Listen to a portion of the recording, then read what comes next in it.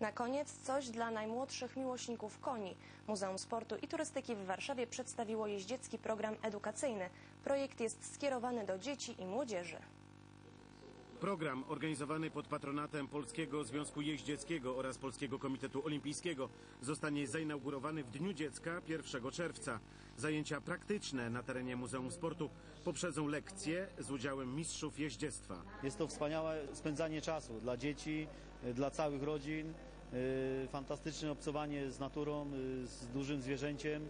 Y, Móc go czyścić, y, dalej siodłać, opanowywać sztuki jeździeckie na grzbiecie tego konia. No, fantastyczna sprawa. Pierwszym cyklem zawodów, który wpisuje się w jeździecki program edukacyjny jest Becker Sport Master Cup w skokach przez przeszkody, organizowany w Laszczkach w gminie Raszyn. Na pierwszych eliminacjach spodziewamy się około 250 przejazdów, więc jak na pierwszy raz organizowane zawody jest naprawdę bardzo duża ilość zawodników, jeźdźców, przejazdów, z czego jesteśmy naprawdę bardzo dumni. Cykl składa się z trzech imprez. Pierwsze zawody w Laszczkach już w najbliższy czwartek, kolejne 17 maja, a finał 7 września.